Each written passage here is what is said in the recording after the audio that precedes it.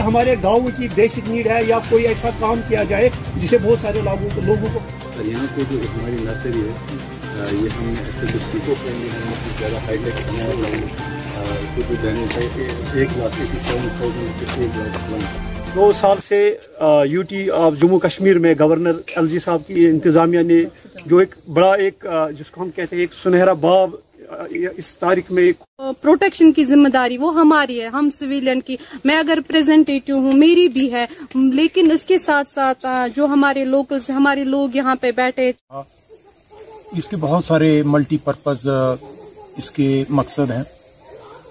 एक तो इन्वायरमेंट तो अच्छा होता है उससे टूरिज़्म को बढ़ावा मिलता है। जम्मू कश्मीर में अगर आप इकनॉमी देखें तो टूरिज़्म बेस्ड इकानमी है। हाँ, कितना बड़ा रोल है यहाँ की ग्रीनरी का इस इकानमी को सस्टेन करने में। उसके बाद सरम सरम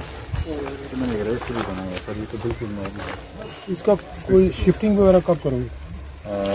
नवंबर में पंद्रह और इसमें एक चीज़ आज हम लोग कुपवाड़ा जो डिस्ट्रिक्ट है हमारा इसमें अपने प्रोग्राम सोशल फॉरेस्ट्री डिपार्टमेंट की तरफ़ से हो रहे हैं।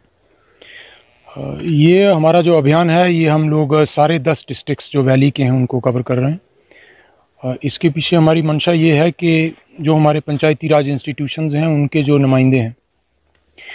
इसमें डीडीसी चेयरपर्सन मेंबर्स और बीडीसी और जो पंचायतों के इलेक्शंस डिस्कशंस हो रही हैं, जिसमें हमारा अपना स्टाफ सोशल फॉरेस्ट्री का भी है, गाँव के लोग भी हैं। ताकि हम लोग इनके सुझाव आज दिन भर जो इन्होंने हमें बताया, उसमें बहुत अच्छे सुझाव आए हैं और हम कोशिश करेंगे कि आने वाले समय में जो हमारे प्लान बने उन सुझावों को हम इनकारपोरेट करने की कोशिश करें, क्योंकि ये पब्लिक के नुमाइंदे हैं और सरकार की भी ये मंशा है कि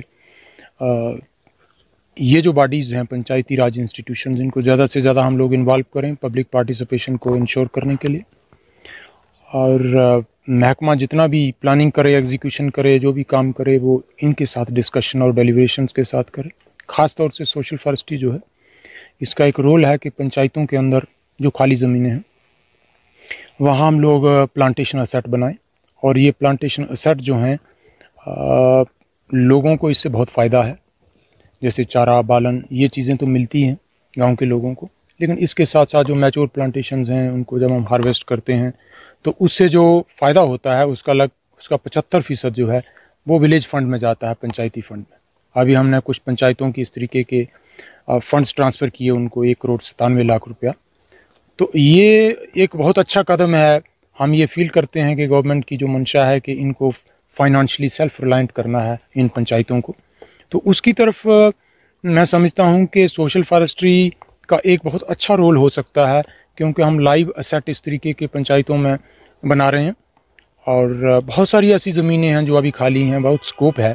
तो इस साल, सर्दियों में दिसंबर जनवरी फरवरी में मार्च में, जो हम लोग प्लांटेशन ड्राइव शुरू करेंगे J and K green drive के तहत, उसमें हमारा पिछले साल से कोई तीन गुना ज़्यादा टारगेट होगा प्लांटेशन का। और कोई 11 लाख के लगभग हम वैली के सभी डिस्ट्रिक्ट्स में प्लांटेशन करेंगे। और इसके अलावा कोई डेढ़ लाख के करीब हम किसानों को स्कूल्स को कॉलेजेस यूनिवर्सिटीज़ इस तरीके के जितने भी इंस्टीट्यूशंस हैं, उनको डिस्ट्रीब्यूट भी करेंगे। मेरी, आपके चैनल के माध्यम से ये लोगों को अपील होगी, गुजारिश होगी कि हमारा सहयोग करें। आपको जिस तरीके के कोई प्लांट चाहिए, अपनी ज़मीनों पर लगाने के लिए, या पंचायतों को, अपने पंचायत घरों में स्कूलों में, जिस तरीके के भी प्लांट चाहिए, हमारे स्टाफ डीएफओ डिस्ट्रिक्ट हेडक्वार्टर पे हैं, हमारे दूसरे रेंज ऑफिसर और दूसरा स्टाफ है उनसे आप रजू कर सकते हैं। हमारा ऑफ़िस राजबाग में है। वहाँ आप टेलीफोन करके हमारे से बात कर सकते हैं।